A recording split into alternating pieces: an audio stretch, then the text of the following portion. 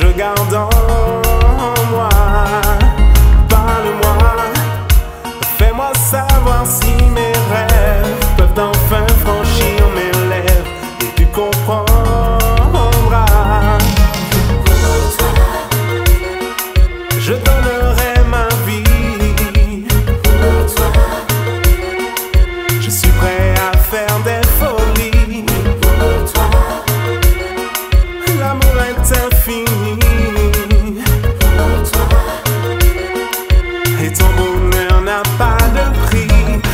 À moi quand tu t'éveilles le matin.